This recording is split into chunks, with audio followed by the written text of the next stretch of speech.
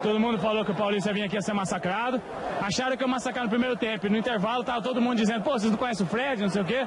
Tá aí no final, conhecemos todo mundo do Cruzeiro.